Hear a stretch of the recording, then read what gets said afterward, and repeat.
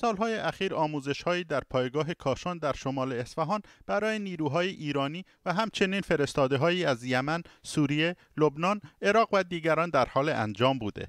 پایگاه وسیعی که امروز به شما نشان می‌دهم قرار است به عنوان مقر اصلی برای صادر کردن تروریسم هوایی ایران در نظر گرفته شود. افشاگری جدید وزیر دفاع اسرائیل علیه ایران. بنی گانتس می‌گوید شبه نظامیان منطقه برای استفاده از پهپادهای جنگی در کاشان آموزش می‌بینند. از سفیر پیشین اسرائیل در واشنگتن می‌پرسیم که آیا این حرفهای وزیر دفاع هشداری برای حمله است؟ توافق تهران و آژانس بین المللی انرژی اتمی درباره ادامه مذاکرات فنی. ایران می‌گوید گفتگوها را در وین ادامه خواهیم داد. از داریل کیمبال مدیر انجمن کنترل تسلیحات می‌پرسیم آیا این توافق گشایشی برای احیای برجام هم خواهد بود؟ در ادامه برنامه امشب. اولین سفر یک مقام بلندپایه خارجی بعد از استقرار حکومت جدید در افغانستان وزیر خارجه قطر با رئیس دولت طالبان در کابل دیدار کرد. دستگیری یکی دیگر از برادران افکاری در سالگرد اعدام نوید سعید افکاری با ضرب و شتم بازداشت و به مکانی نامعلوم منتقل شد.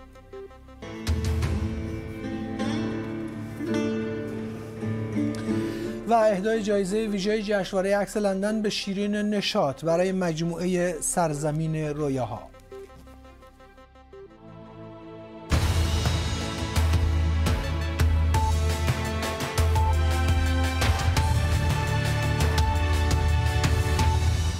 شست دقیقه زنده از بی بی سی در لندن اسرائیل اطلاعاتی درباره پایگاهی نظامی در کاشان ایران ارائه کرده که قبل از این گفته نشده بود. بنی گانس وزیر دفاع اسرائیل می‌گوید که حکومت ایران مرکزی برای استفاده از پهپادهای پیشرفته در کاشان در استان اصفهان ایجاد کرده که هدف آن آموزش شبه نظامیانی از عراق، یمن، لبنان و سوریه است. افرادی که به گفته وزیر دفاع اسرائیل همین حالا در این کشورها مستقر هستند. پنج ماه پیش ژنرال فرانک مکنزی فرمانده قرارگاه مرکزی آمریکا یا سنتکام گفته بود که ایران با استفاده وسیع از پهپادهای کوچک و متوسط برای نخستین بار از زمان جنگ کره برتری هوایی را از آمریکا سلب کرده در سالهای اخیر گروه های مسلح همسو با ایران زیر ضربات پی در پی اسرائیل در سوریه، عراق و گاهی لبنان بودند. اسرائیل عامل چندین عملیات سری در خاک ایران شناخته می شود. آیا این حرفهای وزیر دفاع اسرائیل هشداری به تهران است؟ آیا حکومت ایران با صدور این فناوری به گروه های متحد خود می تواند معادله را در خاورمیانه تغییر دهد؟ بیشتر در این باره حرف می‌زنیم اول گزارشی از سوران قربانی یک افشاگری دیگر اسرائیل از قلب ایران این بار وزارت دفاع اسرائیل مدعی شده که در یک پایگاه در نزدیکی شهر کاشان اعضای شبه نظامیان منطقه تحت حمایت ایران درباره پرواز و ساخت پهباد آموزش می‌بینند. در سالهای اخیر آموزش های در پایگاه کاشان در شمال اصفهان برای نیروهای ایرانی و همچنین فرستاده های از یمن، سوریه، لبنان، عراق و دیگران در حال انجام بوده. پایگاه وسیعی که امروز به شما نشان میدم قرار است به عنوان مقر اصلی برای صادر کردن تروریسم هوایی ایران در نظر گرفته شود. وزیر دفاع اسرائیل می‌گوید که سیستم پرنده هدایت پذیر از دور یا به اختصار پهپاد که می‌تواند هزاران کیلومتر را پشت سر بگذارد یکی از ابزارهای مهمی است که ایران برای کمک به گروه های نیابتی خود توسعه داده و اکنون صدها فروند از آنها در یمن، عراق، سوریه و لبنان مستقر هستند. شاید افشای این پایگاه آموزشی تازه باشد ولی تلاش ایران برای توسعه توانایی پهپادی چیز تازه ای نیست. اینجا در این تصاویر تبلیغی که دو سال پیش منتشر شده انواع پهباد با قابلیت های گوناگون دیده می شود که در رزمایش به گفته آنها تا بیت المقدس امتحان پس می دهند. و رد این پهپادها در میدان عمل هم دیده شده. از یمن و عراق و لبنان گرفته تا دریای عمان.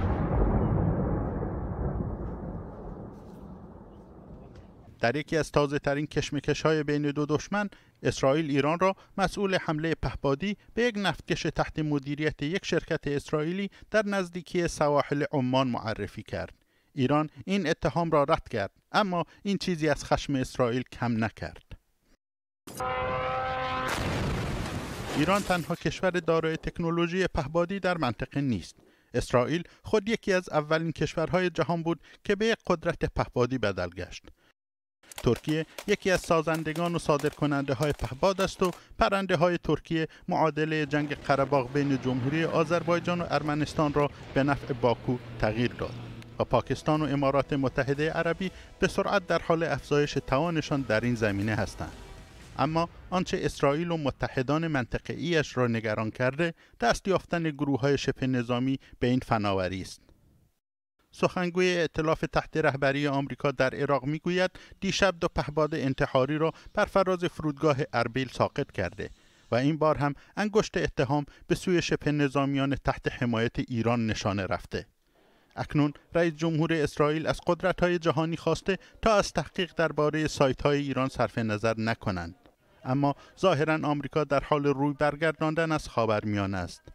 همزمان با خروج سراسیمشان از افغانستان و پیامدهای آن که جهان را در شک فرو برد آمریکا سامانه های دفاع ضد موشکی پیشرفته خود را از عربستان سعودی خارج کرده. امری که ریاض را بیش از پیش نگران کرده و البته دست شبه نظامیان حوسی را برای انجام حملات موشکی باستر رو شنیدید و این اگر درست باشد یعنی پیاده کردن سیاست یاد دادن ماهیگیری به جای دادن ماهی به آنها. و آغاز دردسرهای جدید برای رقیبان ایران در منطقه. سوران قربانی بی بی سی.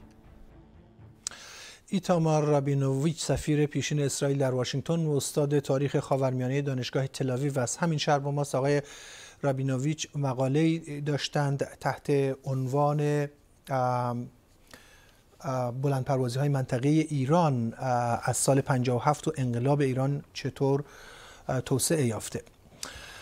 آقای رابینوویچ وقتی مقام های اسرائیل درباره مکان یا فردی صحبت کردن بعد از مدتی به این مکان ها و این افراد حمله شده وزیر دفاع اسرائیل با این حرفا داره هشدار میده؟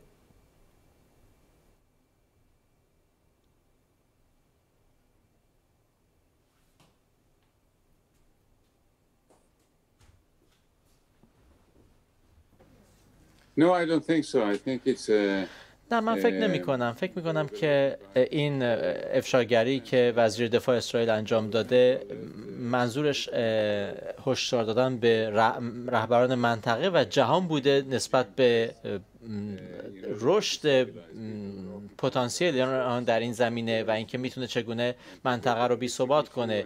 نه فقط بحث هسته ای هست نه فقط بحث موشک های بالستیک هست نه فقط بحث سیاست های منطقه ایران برای بی ثبات کردن هست بلکه این جنبه جدید هم هست. این جنبه جدید ممکنه که موازنه قوا رو تغییر بده دست ایران رو تقویت بکنه در آنچه که در منطقه در حال رخ دادن هست No, I think uh, uh, the, uh, the balance of power نه من فکر می‌کنم که موازنه قوا در حیطه جنگ هوایی همچنان بحث بمباران بمب جنگنده ها و بمب ها هست که اون رو تعیین می‌کنه. ایران در این اسرائیل در این زمینه بسیار پیشرفته تر هست. از نظر نیروی هوایی سنتی اگه اسمش رو بگذاریم این خیلی مهمتر هست. اما بحث پهپادها طبیعتا یک نقش خودشون رو بازی می‌کنن می‌تونن که تا یه حدی در این موازنه نقش ایفا کنن. مخصوصا وقتی که تعداد اونها یک بار زیاد میشه و با پیشرفت های آینده وقتی که دقت اونها هم بیشتر میشه این, این رو شاهد خواهیم بود. هنوز یک عامل تعیین کننده نیستن ولی خب نقششون داره بزرگتر و بزرگتر میشه. ولی خب این گروه های شبه نظامی متحد ایران تا مرزهای اسرائیل گسترش پیدا کردند حزب الله لبنان گروه های دیگه که در سوریه هستند اگر از این تکنولوژی به شکل گسترده استفاده کنند کار بر اسرائیل سخت نمیشه؟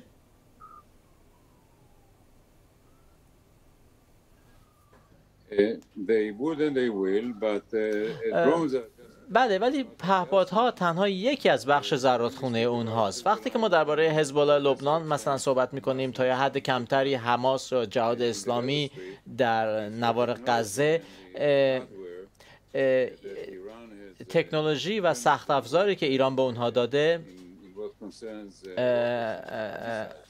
خب بیشتر بحث راکت ها و موشک ها هست که ما رو بیشتر نگران می‌کنه. ما بیشتر از اون تلاش های ایران برای ساختن موشک های با دقت هدایت شونده با دقت که در سوریه و لبنان می‌تونن مستقر کنن و اسرائیل هدف قرار بدن اون نگرانی بیشتر ما هست.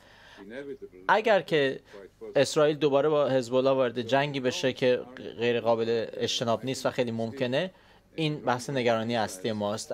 بحث پهپادها یک بحث دیگری است که نگرانی کمتری اسرائیل از اون بابت داره. آقای رابینوویچ من مقاله شما رو در مورد بلند پروازی های منطقه ایران خوندم.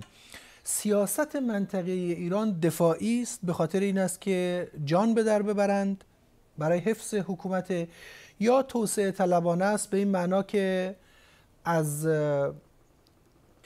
این که می‌تونن ادامه بدن حکومت اسلامی ادامه پیدا بکنه مطمئن هستن و حالا در حال گسترش دادن نفوذ خودشون هستند.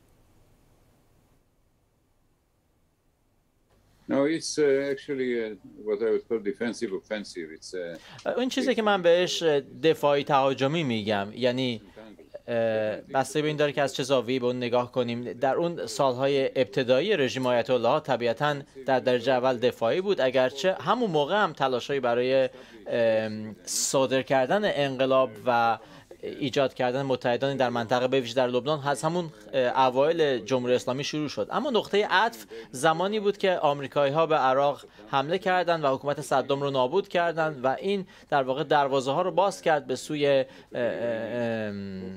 جنبش ایران به سمت دریای مدیترانه در درجه اول و بعد خب جنگ داخلی سوریه اتفاق افتاد که در اون ایران و روسیه هم در حمایت از رژیم اسد وارد عمل شدن و تا حدی میشه گفت این پیروزی کنونی اسد رو رقم زدن. بنابراین این فقط نه در رفتار ایران مشهود است بلکه در اظهارات رهبران رژیم که در پایان مثلا جنگ داخل سوریه گفتن که بعد از دسامبر 2019 رفتن به سمت یک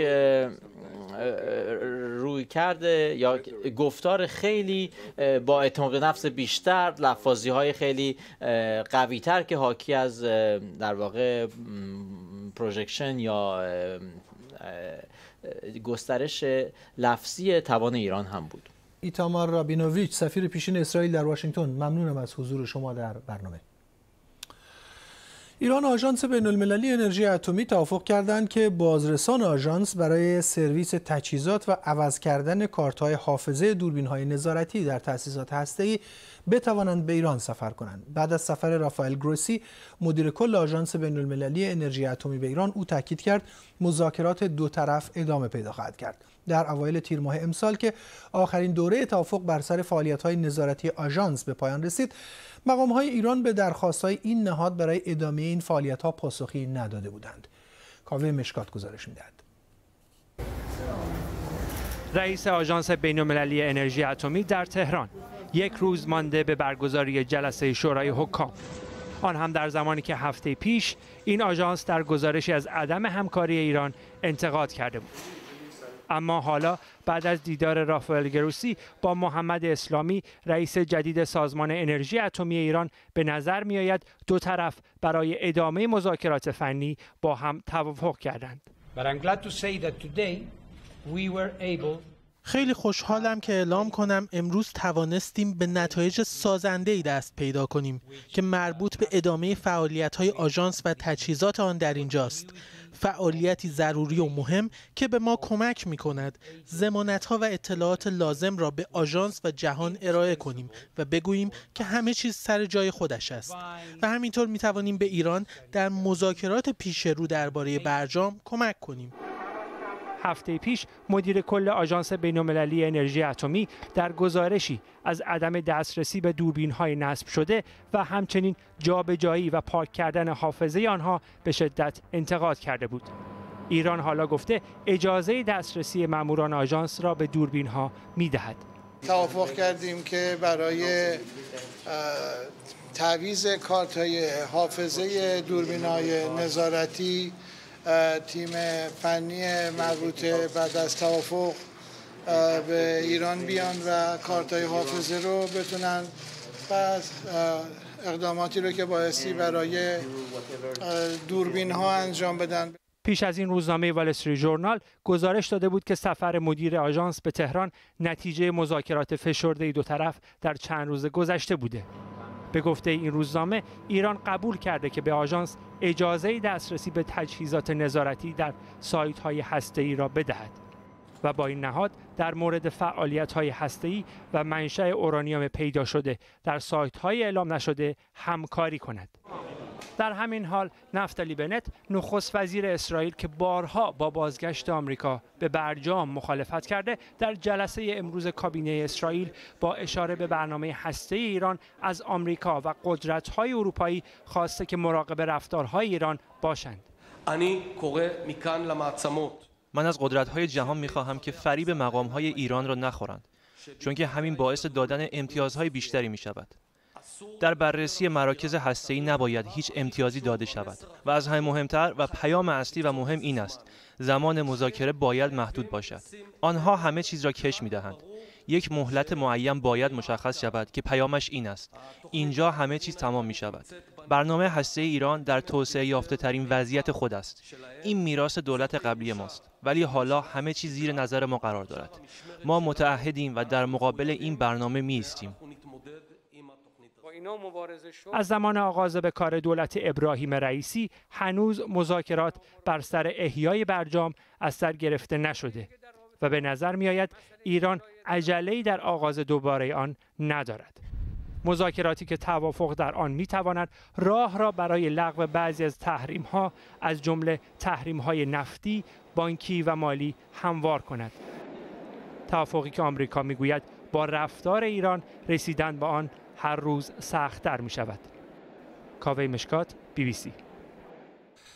دارل کیمبال مدیر انجمن کنترل تسلیحات از واشنگتن دی سی با ما هستند. آقای کیمبال توافق تازه ایران و آژانس در شرایط فعلی چقدر راهگشاست؟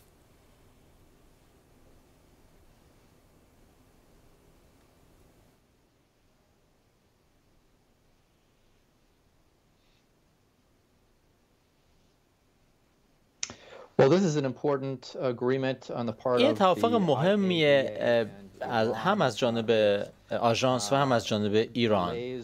برای اینکه اون چیزی که می‌تونسته یه بحرانی باشه رو به تعویق میندازه. بحرانی که مربوط می‌شد به دسترسی آژانس به سایت های هسته ایران. و در واقع یک هر گونه ملامتی و سرزنشی از ایران رو از جانب غربی ها اروپایی ها آمریکا در این نشست قریب الوقوع شورای حکام آژانس رو به تعویق میندازه و در واقع این امکان رو به ایران میده و سه قدرت اروپایی و آمریکا که بتونن بلکه به مذاکرات برگردن و خب باعث بشن که هم ایران پایبندیش رو به, به, به برجام دوباره سر بگیره و بلکه بتونن که این توافق رو احیا کنن روسیه گفته است که نمی‌خواد پرونده ایران به شورای حکام بره و طبعا بعدا هم به شورای امنیت آیا ایران هم در شورای حکام با اتکاب روسیه و هم در شورای امنیت دست بالا رو پیدا کرده؟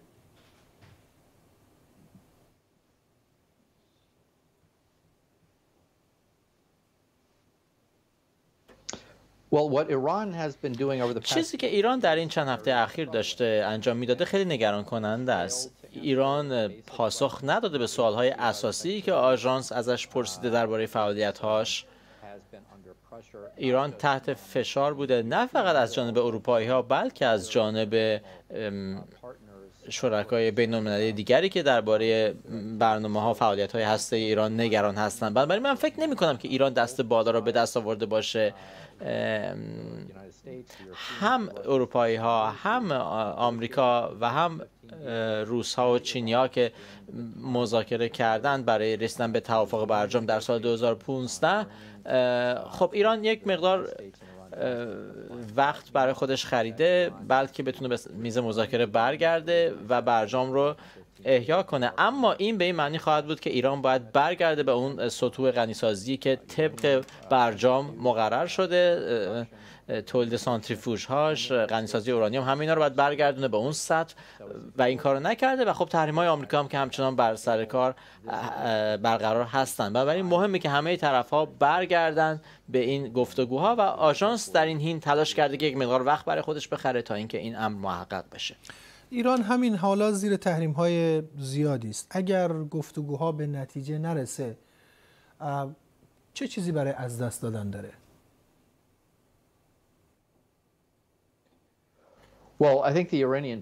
فکر می‌کنم مردم ایران خیلی چیز برای از دست دادن خواهند داشت. تحریم ها خیلی خیلی سنگین هستند برای ایران. به ویژه الان در دوره همهگیری کووید 19 ایران هیچ نفی نخواهد برد از از نظر امنیت ملیش از اینکه بخواد مثلا توانایی هسته خودش رو قوی تر کنه اگر چنین کنه این فقط به تنش بیشتر هم با غرب و هم با جامعه بین المللی خواهد انجامید. بنابراین هر دو طرف به نفعشون هست که بیان و توافق کنن که برگردن به برجام یعنی هم ایران و هم آمریکا و من فکر نمی کنم که هیچ نفی برای ایران باشه که به توافقی نخواد برسه و البته برای آمریکا هم نفی نیست که به توافق نرسه و دوباره به برجام برنگرده تحریم ها رو آسون نکنه. همونطور که پیشتر در سال 2015 قولش رو داده بود. در غیر این صورت هر دو کشور وارد یک مسیر تنش بیشتر و احتمال رویارویی بالقوه در سالهای آتی گام خواهند برداشت. گفته میشه که آقای بایدن سیاست دونالد ترامپ رو در این ماهها ادامه داده بدون اینکه هزینه ای بکنه و با چراغ خاموش چقدر موافقید؟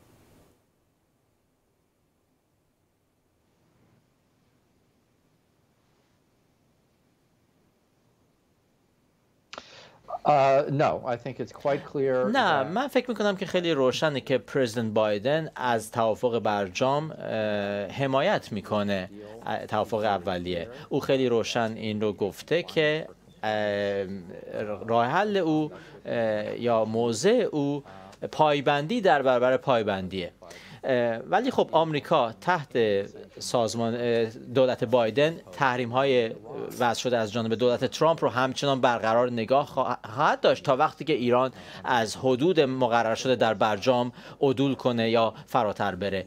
بنابراین هر دو طرف دارن سعی می‌کنن که یک اهرمی در مذاکرات آینده علیه دیگری داشته باشن و هر طرف می‌خواد که اون طرف مقابلش اول گام خودش رو به سوی پایبندی به برجام برداره. ممنونم از داریل کیمبال مدیر انجمن کنترل تسلیحات از واشنگتن دی سی با ما. محمد بن عبدالرحمن آل ثانی وزیر خارجه و معاون نخست وزیر قطر امروز در کابل با محمد حسن آخوند رئیس دولت طالبان دیدار کرد. او بلند پایه ترین مقام خارجی است که از زمان تغییر حکومت در افغانستان با رئیس دولت طالبان و مقام های ارشد آن دیدار کرده. همزمان برنامه جهانی غذا وابسته به سازمان ملل هم از انجام یک پرواز برای رساندن کمک های بشردوستانه به کابل خبر داده. این نخستین پرواز از نوع خود بعد از قدرت گرفتن دوباره طالبان در این کشور است. پرهام قبادی گزارش می‌دهد.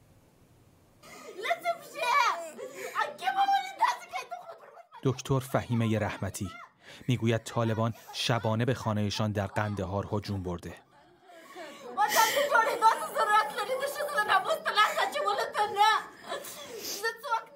و خودش و خانوادهش را لطوکوب کردند. می‌پرسد چرا طالبان قصد فراری دادنشان را دارد.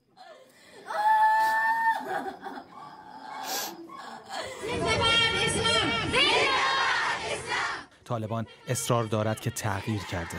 اما روی کردشان درباره مسئله زنان چیز دیگری می‌گوید. مثلا امروز وزارت تحصیلات عالی اعلام کرد تفکیک جنسیتی بعد از دو دهه دوباره برگشته. وقتی واقعا ضروری باشه مردها هم می‌تونن به زنها درس بدن. اما مطابق با شریعت. دانشجوهای زن باید پوشیده باشند و چادر در کلاس کشیده بشه که معلم بتونه به دانشجوها درس بده و از امثال صفحه تلویزیون و ابزار مدرن دیگه کمک گرفته بشه. مهر تأییدی بر این تصاویر که در روزهای پیش از دانشگاه ها منتشر شده بود. اما امروز در فرودگاه کابل بعضی زنان بر سر کار برگشتند. اقدامی که در حکومت طالبان شجاعت می طلبد. احساس کردم که ترس داشتم و نمی‌تونستم که مثل سابق به راحت بیایم. من یک ترس داشتم. مشخص نیست طالبان همین را هم در آینده تحمل می کند یا نه. فعلا در حال محکم کردن جای پایشان هستند. پنجشیر اما برایشان دردسر شده. بنابر بعضی گزارش ها برای به زانو درآوردن مخالفان راه غذا را روی مردم پنجشیر بستند و دست به اعدام های فراقانونی زدند. طالبان اما این گزارش ها را رد می کند شما از ایران آمده این آره میگم تو همون خبرنگاری هستی که میشینی. که میشینم چی می‌کنم؟ نفهمیدم چی میگی. خبرنگاران وابسته به حکومت ایران هم به پنجشیر رفتند. همایون افغان خبرنگار مستقل و سرشناس افغانستان که با بسیاری از مقامات طالبان مصاحبه های چالشی کرده با خبرنگاران ایرانی روبرو می شود خبرنگار ایرانی به خبرنگار افغان هشدار می دهد خوب است نه دوربین ما خاموش نمی کنم هر چی میگی جلو دوربین با ما بگو. مراقب باش. اینطوری نرو. گفتگو گرفتم. در کابل هم دیروز در بیستمین سالگرد حملات 11 سپتامبر پرچم طالبان را بر ارگ ریاست جمهوری بالا بردند. حرکتی نمادین در روزی نمادین. اما به این معنی نیست که به دنیا پشت کردند. بزرگترین دل مشغولیشان این روزها این است که جامعه جهانی این گروه اسلامگرا را به رسمیت بشناسد. دیروز زبیح الله مجاهد سخنگوی طالبان گفت نشانه هایی دیده که به زودی این اتفاق می افتد. زیاد طول نکشید. امروز وزیر امور خارجه قطر وارد کابل شد و با محمد حسن آخوند نخست وزیر جدید طالبان دیدار کرد. در دیداری جداگانه با حامد کرزی و عبدالله عبدالله هم گفتگو کرد. اما فعلا برای مردم این حرفها نان و آب نمی شود. خواستای ما است که برای جوانان عزیز بیکار یک کار بار مساهم کنند. اقتصاد افغانستان در حال فروپاشی است. این روزها صفهای طولانی دم بانک ها صحنه آشناست و اعضای طالبان که در حال برقراری امنیتند. البته به روش خودشان.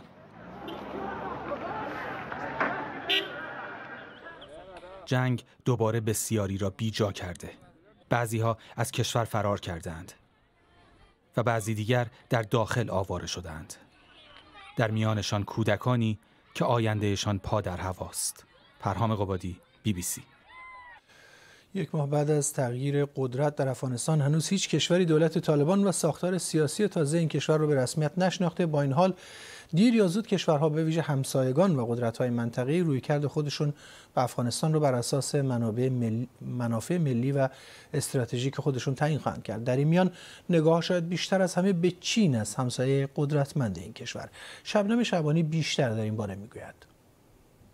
نزدیک به یک ماه از قدرتگیری دوباره طالبان در افغانستان میگذرد. حالا با فروپاشی ساختار سیاسی امنیتی و نظامی در این کشور و تسلط همه جانبه طالبان بر امور ساختاری تازه برآمد از ارزشها و های این گروه رو برای اداره کشور ناگزیر در حال شکل گیری است. پرسش بزرگ اما این است که جامعه جهانی و دیگر کشورها آیا این ساختار سیاسی را به رسمیت خواهند شناخت و با دولت طالبان مراوده خواهند داشت؟ منافع استراتژیک دولت ها به ویژه در منطقه در تعامل با طالبان آنها را به کدام سو خواهد برد؟ چین از قدرت های اقتصادی و نظامی جهان شاید مهمترین کشوری باشد که حالا با خروج نیروهای خارجی از افغانستان نگاه ها به آن دوخته شده که چنو روابطی با طالبان برقرار خواهد کرد. این سخنان وزیر خارجه چین. ما باید طالبان را تشویق کنیم تا با همه اقوام و گروه های سیاسی داخل افغانستان متحد شوند و یک ساختار سیاسی گسترده و همه شمول را شکل دهند. طالبان باید به سمت اعمال سیاست های معتدل در عرصه داخلی و خارجی بروند. آنها همچنین باید خط روشنی میان خود و نیروهای تروریستی بکشند و رابطه دوستانه با دیگر کشورها به ویژه همسایگان خود برقرار کنند. اینها هم تصاویر دیدار یک از رهبران طالبان ملا برادر از چین است. او در رأس هیئتی از طالبان به چین رفت و با وانگی وزیر خارجه این کشور دیدار کرد. یک هفته پیش از سقوط دولت افغانستان و قدرتگیری طالبان. در این سفر دو روزه درباره همکاری های امنیتی و بازسازی افغانستان گفتگوهای انجام شد. در این دیدار چین از طالبان وعده همکاری برای مهار بخش تندروی اویغورهای چین رو هم گرفته. اما آیا حالا با حضور طالبان در قدرت عرصه برای چین تنها در زمینه مسائل منطقه‌ای بازه؟ می‌دانیم که آمریکا از دست کم ده سال پیش در هنگام ریاست جمهوری باراک اوباما تغییری اساسی در رویکرد سیاست خارجی خود اعلام کرد. در واقع آمریکا به جای مبارزه نظامی با تهدیدهای امنیتی در خاورمیانه و بعضی نقاط مانند افغانستان از این رو داره که بر چالش‌های امنیتی و اقتصادی در منطقه آسیا و به ویژه چین متمرکز بشه. دکترینی که بهار عربی و ظهور داعش اجرای اون رو تا حدودی به تعویق انداخت. اما حالا تصمیم قاطع جو بایدن در خروج از افغانستان با وجود همه انتقادها احتمالا حکایت از جدی دیدن تهدید امنیتی پکن از طرف واشنگتن داره با این همه همین خروج هم خود دست چین رو در بسیاری از موارد در افغانستان شاید باز بگذاره استفاده از این فرصت برای همراه کردن افغانستان در کریدور اقتصادی که چین در پی تأسیس اونه. راه ابریشم نوین چین که از شمال غرب چین و از مسیر افغانستان بتونه محموله های اقتصادی رو به جنوب غرب ایالت بلوچستان پاکستان برسونه. اون که طالبان از اون استقبال کرده. جدا از این مسئله دسترسی به پروژه های معادن با ارزش مس و لیتیوم در افغانستان هم هست که روابط نزدیک احتمالی چین با طالبان دسترسی پکن به این پروژه ها رو تسهیل می‌کنه. روابط امنیتی و نظامی احتمالی چین، پاکستان و افغانستان هم بخشی از سناریویی که بعیده در ارزیابی های امنیتی ایالات متحده پیش از اجرای طرح خروج از افغانستان در نظر گرفته نشده باشه. همه محورهایی که پرسشهایی پرشمار بر جای می‌گذارند. ایالات متحده در این عرصه تازه چگونه با چین رویارو می شود و خروج آمریکا از افغانستان و پررنگتر شدن نقش چین در این کشور چه اندازه به نفع منافع ملی افغانستان و فصل سیاسی تازه این کشور خواهد بود؟ شبنامه شعبانی گزارش می‌داد. کارولاین روز تحلیلگر مؤسسه استراتژی و سیاستگذاری نیولاینز از واشنگتن دی سی با ما هستند. خانم روز طالبان به دنبال سیاست نگاه به شرق هستند؟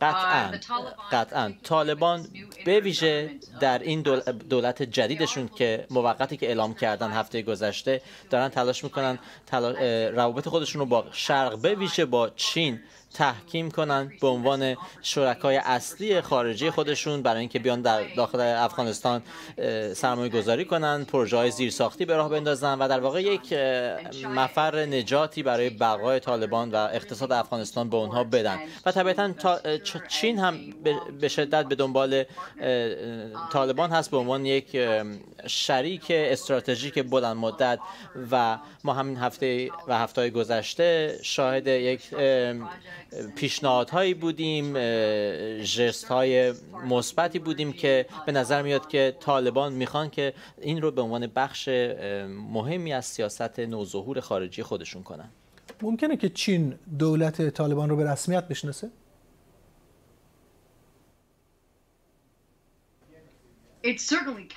um, قطعا می‌تونه و البته من فکر می‌کنم که این یک واقعیت اجتناب ناپذیر باشه که در نهایت پکن به طور رسما کنترل طالبان بر افغانستان رو به رسمیت خواهد شناخت. اما در مقایسه با بقیه دولت ها می‌بینیم که خب چین هم خیلی سریع اقدام نکرده در این راستا. نگاه خواهد کرد که این دولت جدید این دولت به اصطلاح موقت چطور رفتار خواهد کرد؟ چه سیاست های خارجی رو اعلام خواهد کرد یا خواهد داشت؟ چگونه احیانا سرکوب خواهد کرد؟ مخالفان خودش رو و چگونه در یک سمت قرار خواهد گرفت با چین در راستای منافع مختلف این کشور؟ اما به ویژه وقتی که بحث منافع استراتژیک چین در داخل افغانستان میشه مثلا دسترسی به منابع معدنی این کشور دسترسی به پروژه های زیرساختی به طور بالقوه اینکه بخواد این کریدور سیپک رو به داخل پاکستان گسترده تر کنه. و البته همکاری های بالقوه در ارتباط با روابط با افغانستان در ارتباط با برخورد طالبان با گروه های بنیادگرا. این مربوط میشه به ایالت یا استان سینکیانگ غرب چین به همه این موارد نگاه خواهند کرد چینی ها دقیقا شما رفتار گروه های افرادگرا رو بررسی کردید در مورد اونها مطالعه کردید. آیا طالبان در مرزهای افغانستان محدود خواهند بود یعنی اونها نسبت به سرنوشت اویغورها بیتفاوت خواهند بود یا به دنبال حمایت از گروه های افرادگرا در آسیای مرکزی نخواهند بود.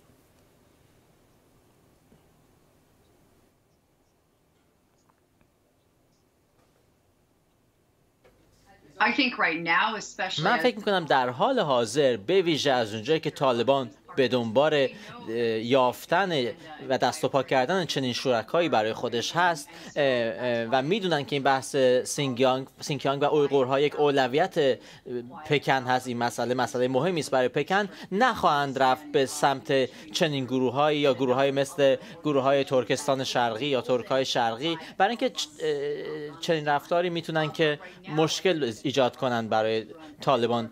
در حال حاضر. در آینده که جای پاشون محکمتر بشه یک بحث دیگری است. اما در حال حاضر این به نفع اونا خواهد بود که اطمینان حاصل کنند که این گروه ها مخصوصا در جمهوری های آسیای میانه در امتداد مرزهای طالبان و افغانستان خیلی فعال نباشند. دست کم در کوتاه مدت. برای اینکه تلاش خواهند کرد که یک شراکت بلند مدت با چین رو برای خودشون محقق کنند. در درجه اول بحث کمک های اقتصادی هست بحث کمک های انسان دوستانه هست که به طالبان مجرایی برای نفس کشیدن بده. اونها می‌دونن که این یک اولویت خیلی مهم چین هست این مسئله و تلاش خواهند کرد که در این زمینه خوب رفتار کنند تا اینکه بتونن که به رسمیت شناختن رو از جانب چین و شراکت بلند مدت از جانب چین رو برای خودشون محقق کنن و بعد در آینده باید ببینیم چه میشه.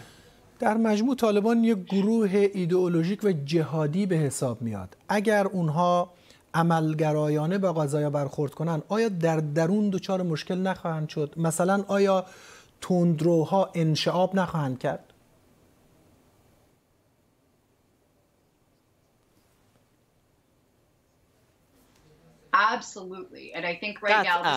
قطعا. من فکر می‌کنم در حال حاضر این قمار بزرگ همین دولت موقت طالبان باشه که می‌خواد سعی کنه که بررسی کنه اوضاع رو و یک استراتژی برای خودش دست و پا کنه. چون شما درست میگین. به محض اینکه طالبان بیاد بخواد فاصله بگیره با اون رفتار و آرمانهای تاریخی خودش به محض اینکه میان روتر نسبت به گذشته خودش به نظر برسه بسیاری از اون حمایت های سنتی خودش رو وفاداری جنگنده های سنتی خودش رو از دست خواهد داد و اونها ممکنه متمایل بشن به داعش یا داعش خراسان به اصطلاح.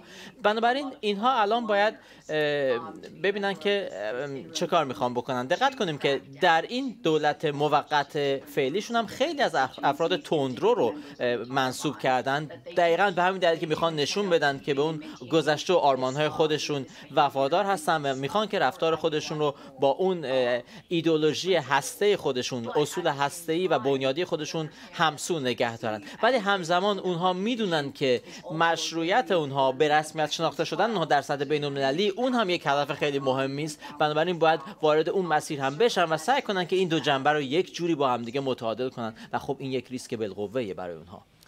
ممنونم از کارولاین روز تحلیلگر مؤسسه استراتژی و سیاستگذاری نیولاینز از واشنگتن دی سی با ما. در آستانه سالگرد اعدام نوید افکاری نیروهای امنیتی خانواده او را تهدید کردند که مراسم نگیرند. برادر او سعید هم امروز توسط نیروهای امنیتی بازداشت و بعد آزاد شد. مقام های قضایی ایران نوید افکاری رو به شرکت در اعتراض های مرداد 1397 شیراز و همچنین قتل یک نیروی امنیتی وابسته به حراست شرکت آبفا در روز دوم مرداد 77 متهم کرده و او را اعدام کردند. اتهاماتی که او رد کرده بود. فرین آسمی گزارش می‌دهد. افزایش فشارهای امنیتی بر خانواده نوید افکاری در آستانه سالگرد اعدام او این بار نیروهای لباس شخصی برادرش سعید را با کتک برای ساعتی بازداشت و سپس آزاد کردند.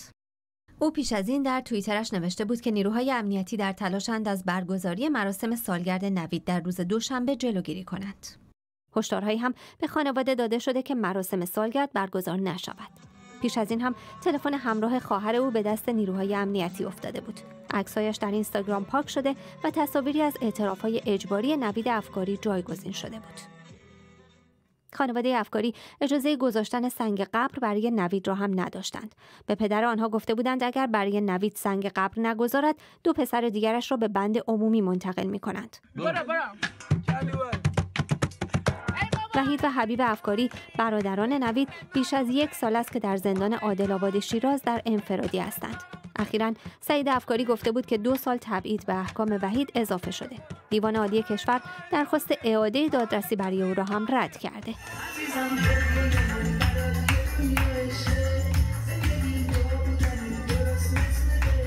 به گفته مادرشان بارها مجبور شدند علیه هم و علیه نوید اعتراف کنند تا جایی که وحید دوبار اقدام به خودکشی کرده کاربران شبکه های اجتماعی با هشتگ هایی مثل از خانواده افکاری بگو و هشتگ انگلیسی استاپ تورچرینگ افکاریز یا شکنجه افکاری ها را تمام کنید از این خانواده حمایت کرده و یاد نوید افکاری را در سالگرد اعدامش زنده نگه داشتند. روز شنبه جمعی از ایرانیان مقیم ادمونتون کانادا تجمعی برگزار کردند. به یاد نوید افکاری در آستانه سالگرد اعدامش. هدفشان هم دادخواهی خون او. این پیام بهیه نامجو مادر نوید افکاری به تجمع اعتراضی در ادمونتون آیا خبر دارید که این نظام هر از چند گاه تشنه خون جوانی می شود و آنگاه به زندگی و عشق و امید یک ملت دست درازی می کند و یک نفر را می رو باید تا چرخ حیاتش با خون بچرخد؟ در آستانه سالگرد اعدام نوید افکاری خبرگزاری فارس وابسته به سپاه تصاویری از اعتراف او منتشر کرد. اعتراف به قتل حسن ترکمان کارمند حراست شرکت آبفا در شیراز. اعترافی که نوید در فایل های صوتی که از زندان میفرستاد گفته بود واقعیت ندارد و اجباری است.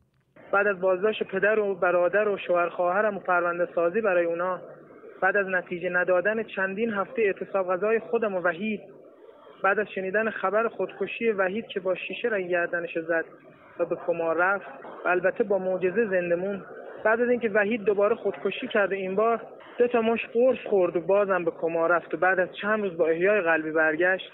بعد از دیدن حکم بازداشت مادر و خواهرم و تهدید به بازداشت فوری اونا و بعد از شکنجه هایی که از بیانشون شهر دارم که البته هر شخصی که تجربه حضور توی بازداشتگاه وزارت اطلاعات رو داشته باشه می‌دونه چی می‌خوام بگم آیا راهی جز تن دادن به اعتراف تحمیل شده داشتم اعدام وحید افکاری با واکنش های زیادی در سطح داخلی و بین المللی مواجه شد. فعالان حقوق بشر می‌گویند پرونده او ابهامات رفع نشده زیادی دارد و اعدامش با عجله و بدون اطلاع او و خانوادهش بوده. حالا در آستانه سالگرد او بار دیگر فعالان حقوق بشر و خانوادهش صدایشان را برای دادخواهی بلند کردند. فرین آسمی بی بی سی. ابراهیم الله بخشی فعال حقوق بشر از ترکیه با ماست الله بخشی شما با خانواده افکاری در ارتباط هستید. آقای سعید افکاری رو گرفتن بعد آزاد کردن. چه جزئیاتی می‌دونید؟ صبح که سعید به سمت شیراز از تهران حرکت کرده بود دروازه قرآن شیراز که خانواده منتظر او بودن که که سعید از اتوبوس پیاده بشه و با خانواده برن زندان ملاقات حبیب و وحید. که همون دروازه قرآن شیراز بازداشت میشه و با ضرب و اون رو بازداشت می‌کنن نیروهای امنیتی و به مکانی نامعلوم می‌برن. طبق گفتهایی که قبلا خود سعید هم توییت زده بود اعلام کرده بود که بارها خانواده تحت آزار و اذیت ماموران اطلاعات بودن و از اقوام و دوستان بازداشت شده بودن یعنی احضار شده بودن و خانواده رو تهدید کرده بودن که مراسم سالگرد نگیرن. چون دو ساعت قبل اینکه سعید رو بازداشت کنن پدر رو تهدید کرده بودن که اگر مراسم سالگرد بگیرن به جرم منافق بازداشت میشه. این تهدیدها از طرف کدوم نهاد بوده؟ معلوم هست؟ چون که بیشتر اقوام و آشنایان رو احضار کردن نیروهای وزارت اطلاعات بودن در این مدت در یک سالی که گذشته حرف در مورد تهدید در مورد فشار بر روی خانواده افکاری خیلی زیاد بوده درسته؟ بله چه اطلاعاتی در این زمینه دارید؟ چرا اینها به این شکل انجام می شده؟ ببینید یک سری خب اقوام و دوستان و آشنایشون که اونجا می اومدن و سر خاک نوید می رفتن و یا حالا تو بحث خبررسانی فعالیت می کردن بارها تهدید شدن حتی احضار شدن به اداره اطلاعات و چند تنشون هم که ما اطلاع داریم حکم قضایی گرفتن. خب ولی فعلا خب نمیشه دربارهشون صحبت کرد و اینا. ولی خب بارها خانواده و حتی اقوام و دوستانشون تهدید شدن از طرف وزارت اطلاعات و خب چند نفرشون هم حکم قضایی دریافت کردن. غیر از نوید که اعدام شد و سعید که امروز گرفتنش و بعد هم آزاد کردن وحید و حبیب در زندان هستند اشاره شد در گزارش. بیشتر از یک ساله که اونها در انفرادی هستند توضیحی در این باره داده شده؟ هیچ توضیحی ندادن. حتی محروم از حق تماسن که هر زندانی حق تماس داره در روز با خانوادهش تماس بگیره و حتی ملاقاتی که خانواده میرن ملاقاتی نیست که مثلا حالت عمومی داشته باشه. ملاقاتیه که پر از معمور بالای سرشون هست و خب خانواده بیشتر از ده دقیقه اجازه ملاقات وحید و ندارن. و حتی امکانات درمانی یا حتی امکانات فروشگاهی که مثلا همه زندانی ازش بهره من میشن وحید و حبیب ندارن و توی سلول انفرادی هستن الان یک سال بیش از یک سال شده. ممنونم از ابراهیم الله بخشی از دوستان خانواده افکاری در ترکیه. اجازه بدید که سری بزنیم به تصاویر زنده که همین الان در حال پخش هست. همونطور که بینید رافائل. گروسی در وین اتریش هست و در مورد سفر خودش به ایران توضیح میده. او دیروز به ایران سفر کرد و امروز با توافقی از ایران بازگشت. البته من باید بگم که به عنوان دبیر کل سازمان نمی‌تونم درباره اینکه قطعنامه خواهد بود یا نبود اظهار نظر کنم. این در حیطه وظایف من نیست. من فکر می‌کنم که مدیریت کردیم و موفق شدیم که مهمترین مسائل فوری رو که به صورت فوری داشتن به از دست رفتن اطلاعات ما می انجام میدن حلشون کنیم. مشکلاتی که ما تا همین دیروز داشتیم. حالا ما یک راه حلی رو داریم. بذارین اجازه بدم که اجازه بدین که بگم که این خیلی مهمه که ما باید در واقع پیوستگی دانش ما نسبت به موجودیت موجودی ایران اینکه چی دارن حفظ بشه چند تا سانتریفوژ دارن چقدر اورانیوم دارن اینها چیزهای خیلی مهمی هستند که اگر که به این نتیجه نمی رسیدیم این پیوستگی دانش ما از بین می‌رفت. ولی خب الان این پیوستگی اطلاعات ما دوباره برقرار شده. اما درباره موضوعات دیگری که اشاره کردین من امیدوارم که بتونیم که بالاترین در سطح بالاترین مقام های ایران این حمایت باشه که بتونیم با اونها در این باره صحبت کنیم. یک سوال نهایی می‌خوام از شما بپرسم. شما پس دارین میگین که این پیوستگی اطلاعات شما الان دوباره برقرار شده. ولی خب دست کم چیزی که ما در رسانه ها میشنویم ما, ما مثلا شنیدیم که این هرگز نشنیدیم که این توافق موقتی ماه فوریه رسما تمدید شده باشه. بنابراین شما از کجا اطمینان دارید که این پیوستگی اطلاعات که شما ازش صحبت می‌کنید همچنان برقرار باشه؟ شما چطور اعتماد دارید که این اتفاق بیفته؟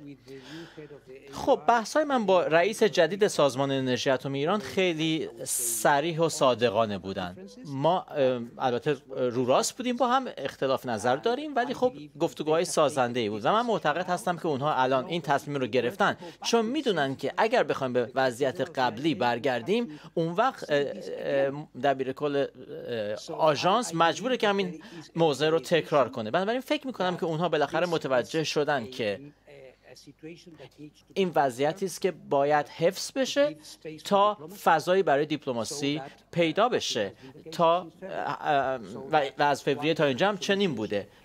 بنابراین اینجوری میشه به راه حلی رسید. اما خب این مربوط من نمیشه. مربوط بحث شورای حکامه ولی طبیعتا رافائل گروسی بود مدیر کل آژانس بین المللی انرژی اتمی از توافق خودش با ایران می‌گفت و اینکه این گفتگوها در این زمینه ادامه پیدا خواهد کرد و احتمالا او سفرهای بیشتری هم خواهد داشت. اما جشنواره عکس لندن جشنواره از بهترین های هنر عکاسی در جهان امسال جایزه ویزه خودش رو به شیرین نشاط هنرمند سرشناس ایرانی آمریکایی داد. 110 عکس او در مجموعه سرزمین رویاها در این جشنواره به نمایش گذاشته شده. کسرا ناجی گزارش می‌دهد.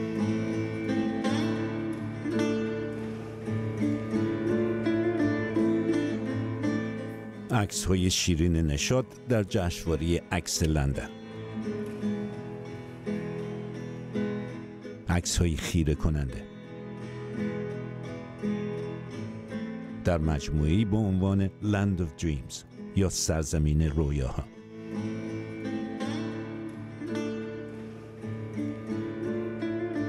وقتی که او در خانه خیلی ها را در ایالت نیو مکسیکوی آمریکا زد و از آنها خواست اجازه بدهند که او عکسشان را بگیرد و از رویاهایشان به او بگوید.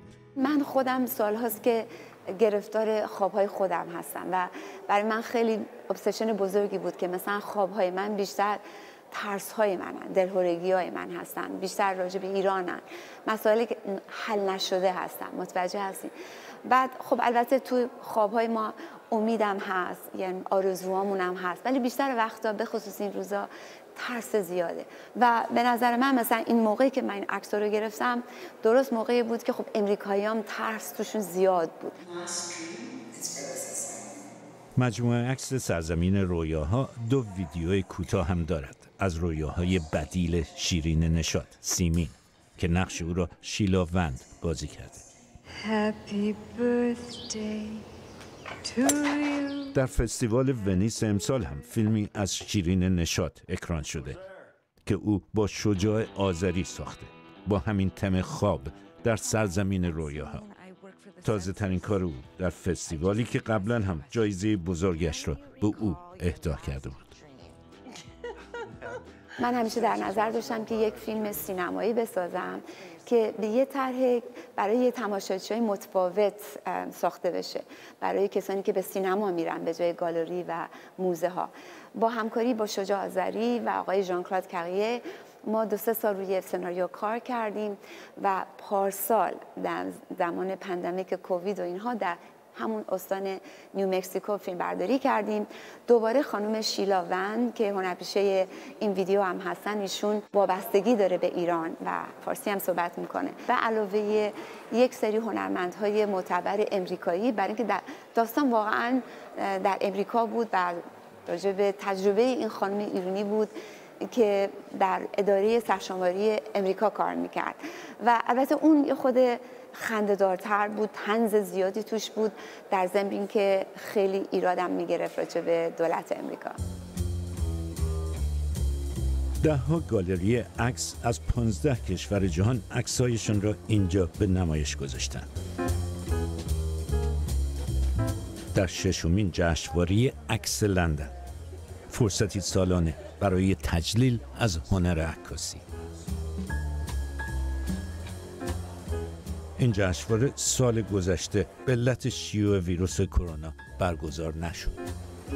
همینطور که می‌بینیم ما 2015 این جشنواره رو شروع کردیم و این شیشمین باریه که انجام میشه و البته این این یکی بسیار مشکل بوده. به خاطر کووید. به خاطر کووید. 18 ماه طول کشیده. ما این دفعه چهارم در واقع که داریم سعی می‌کنیم نمایشگاه رو باز کنیم و این واقعا معجزه شده. برای اینکه تونستیم اولین نمایشگاه بزرگ فوتوگرافی توی دنیاست که بعد از 18 ماه باز شده.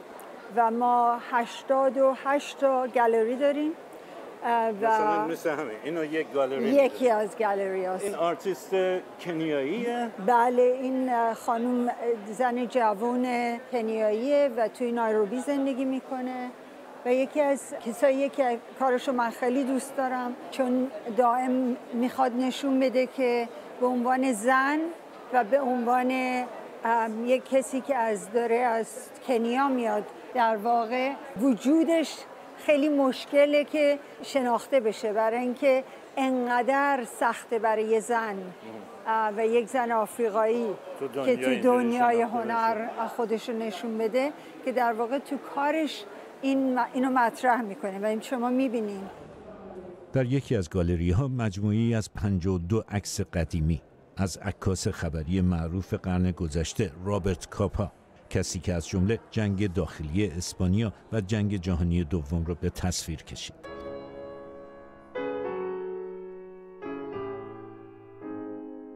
یکی از اولین عکاسان جنگی دنیا این مجموعه عکس است که مدیر پیشین آژانس عکس خبری مگنوم دیوید کوگن از کارهای او جمع کرده و اینجا به نمایش گذاشته است.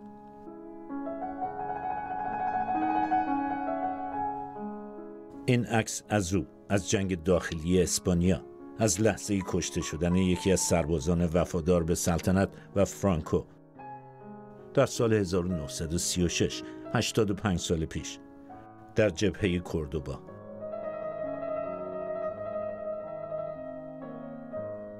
عکس های او تاریخی مصور از جنگ داخلی اسپانیا. هنگامی که خیلی از ایدئالیست های دنیا به جبهه مقابل فاشیسم در اسپانیا پیوستند و آخرش هم شکست خوردند.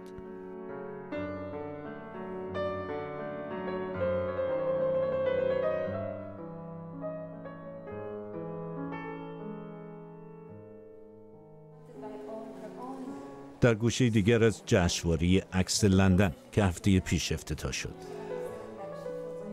این جشنواره جایزه امسالش را بزرگترین جایزش را به شیرین نشاد داد. با عنوان استاد عکاس. چون که من خودم وقتی که در دانشگاه بودم نقاشی می‌کردم مثلا عکاسی بلد نیستم به اون صورت. اینه که برای خود منم چون که آرتیست در واقع غیر سنتی هستم همیشه کارهای می‌دونی فیلم و نمی‌دونم ویدیو هم می‌کنم برام یه خود تازگی داره که یکی به عنوان عکاس به من نگاه کنه. من حتی دوربین ندارم.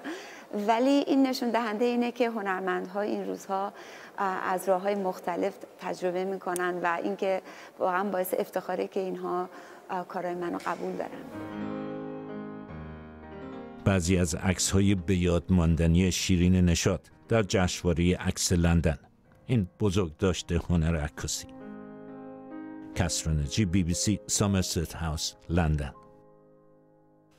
ممنونم از اینکه بیننده این برنامه 60 دقیقه بودید و برنامه رو هم تا آخر دیدید. این برنامه و برنامه های قبلی ما در وبسایت بی بی سی فارسی و همینطور روی کانال ما در یوتیوب قابل دسترسی.